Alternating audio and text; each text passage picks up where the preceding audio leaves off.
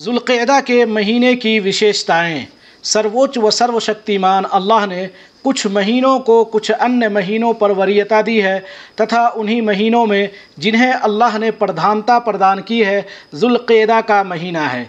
यह हिजरी वर्ष का ग्यारहवा महीना है।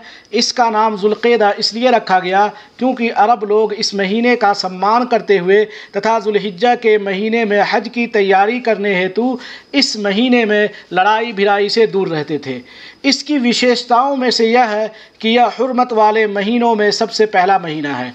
हज की यात्रा में लोगों को सुरक्षा प्रदान करने हेतु अरब इस महीना में लड़ाई को वर्जित मानते थे। फिर इस्लाम आया और इस्लाम ने इसकी हुरमत अर्थात वर्जना को और बढ़ा दिया, तथा इस महीने में लड़ाई आरंभ करने को हराम करार दिया।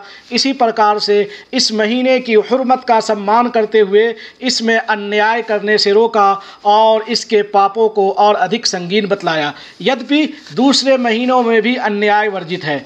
इसकी विशेषताओं में से यह है कि यह हज के उन विशेष महीनों में से है जिनमें हज की नीयत की जाती है।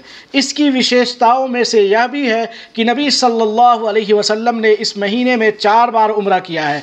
अनस रदी अल्लाह से वर्णित है कि नबी सल्लल्लाहु अलैहि वसल्लम ने चार उम्र किया तथा सभी उम्र आपने जिलकैदे के महीने में किया।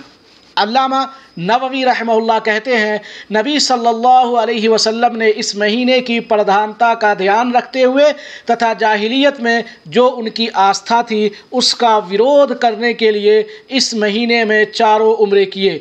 क्योंकि वो लोग हुरमत वाले महीनों में उम्र करने को घोर अनैतिकता के रूप में देखते थे।